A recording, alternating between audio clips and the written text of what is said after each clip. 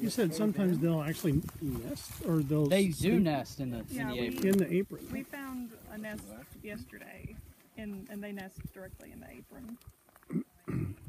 So is this an active nest? This well, this would be an active burrow. Yeah. So don't don't step right there, please.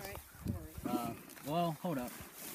There's a lot of spider webs. Yes, I was thinking. what's Yeah, that? well, here's the thing though. Those spider webs can happen overnight. Sure. What I look for is you see how this this soil right here has been freshly kind of moved. Mm-hmm. So what it looks like to me is he this probably hasn't been used in a while. few days. And then not too many days ago, one just started started back reusing it. cool.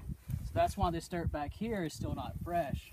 But here up here in, Oh, in the cool. actual Yeah, yeah. front end of the apron, it does show some freshness.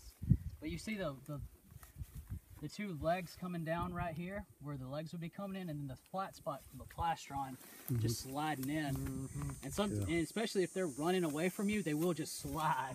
Yes, they will. They- they will die for that burrow.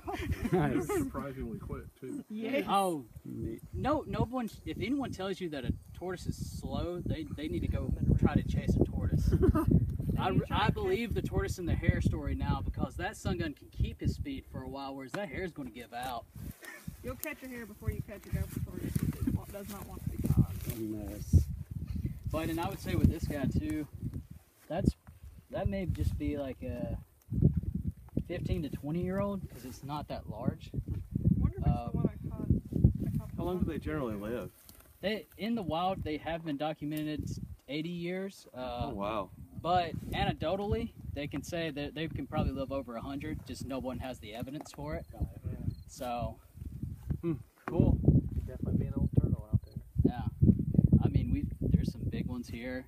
I've captured some dudes. I know that the last time they were captured, they were in their 20s, and that was 20 years ago, and I captured him, so he's at least 40, you know?